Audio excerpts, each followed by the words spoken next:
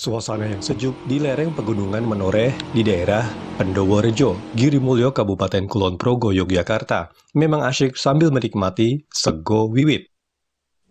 Menu sego wiwit menjadi salah satu pilihan kuliner yang bisa dinikmati untuk menu berbuka puasa.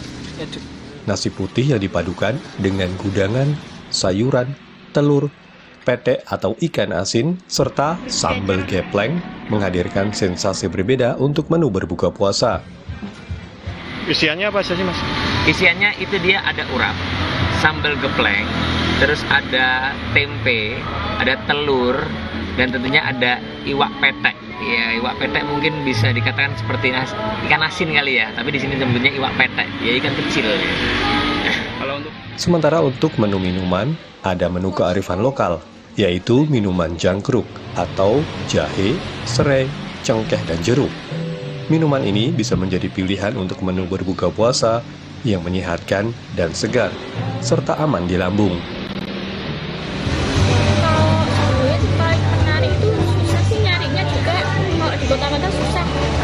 Kalau nyarinya. adanya di sini ya. Nah, cuma di sini. Ini datang dari mana, Pak?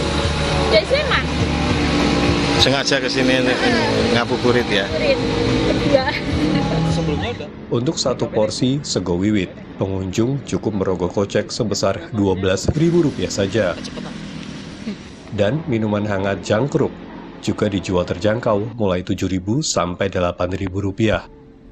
Nah, Anda bisa mampir ke sini untuk ngabuburit di Dadap Sumilir di Pendoworejo Girimulyo, Kulon Progo, Yogyakarta, sambil berbuka dan menikmati sejuknya pegunungan menoreh.